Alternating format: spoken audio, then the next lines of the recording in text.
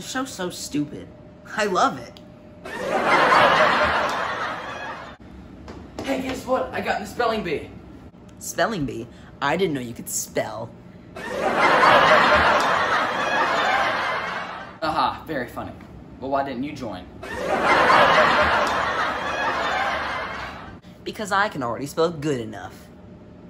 Hmm, good enough. That's only two words. Well, I didn't fail grammar in second grade. Well, I didn't fail grammar in the third grade. Shut up! You shut up! Why do you have a flip flop? I don't know, but I'm gonna use it. What are you looking at?